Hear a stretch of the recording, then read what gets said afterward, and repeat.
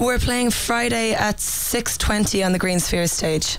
Now, a little earlier on, Leah was in doing the showbiz news and she was telling us about the demands various bands have from champagne to tequila to M&Ms to Mars bars and so on. Do you, as a band, have any particular demands? Was there a request form given to you that what, what you'd like backstage before or after you play?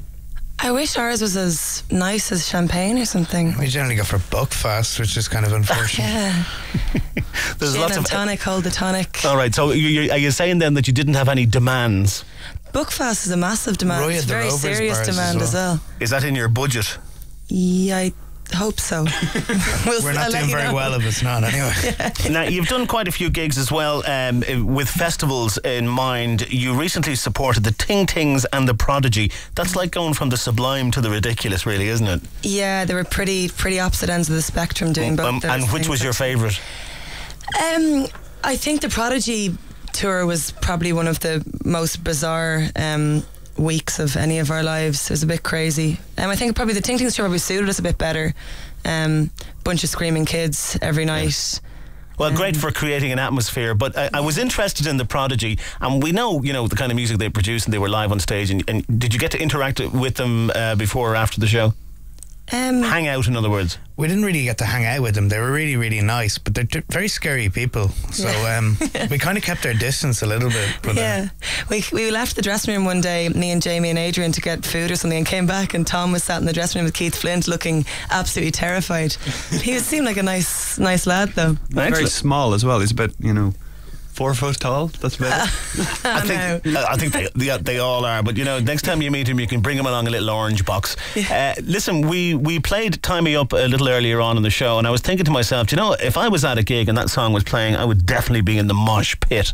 Um, I mean, d- d- tell us about your set at Oxegen. Is it going to be mad? I hope so. Um, I don't really know what we're going to do yet, but it should be. What? It should be good. Does MCD know that? Yeah, they, they that's what they're do. so That- I worried think That's what they're worried about. Yeah, They keep warning us. they've asked us to kind of clear stuff, but uh, Yeah. we don't really kind of work that way. I think that's the thing why it always does end up a bit chaotic because we tend to just not plan things and then, you know, next thing you know, you get a kick in the face from pockets during the set. Well, you're a hard-working band. There's no denying that. The album's been warmly received over in the UK, and the uh, Fight Like Apes have been gigging extensively across the Irish Sea. Uh, I've just been asked to mention one or two of your Irish gigs. You're going to be in Clonmel tonight, as we just mentioned. You're at Oxegen the weekend, and then you'll be at the Galway Arts Festival in the Róisín Dubh on the 14th of July, and then the Lacala Festival at uh, Creans in Meath on the 2nd of August. You're going to do a little bit of live music for us Yeah. right now. What have you got? Uh, we've got something global with just me and Tom. Okay, in your own time on the Breakfast Show, live at Fight Like Apes. Language and insults fall back to the plate. You're running a greater plan of escape. There's suits out on the streets, they're marching in pairs. All dapper and toy boy ties and purple flares. And hooks off of wimps and choruses for gays. So give me my hook, they call out to the stage. You're running like a preacher's hand caressing. Feeling up the cleavage in town. Oh, give me my hook. I know it sounds lame. Do you like? Waistcoats are so today. So give me something special, darlings. I can skip around.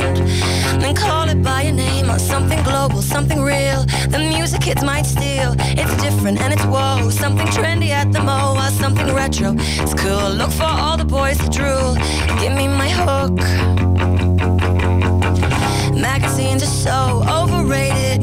To tell you and sell you what's new and what's now obsolete. And they like their garage friends, and yeah, they like those indie gents, and yeah, they like whatever cool new trends. Gonna take those copies off the shelf. So give me my hook.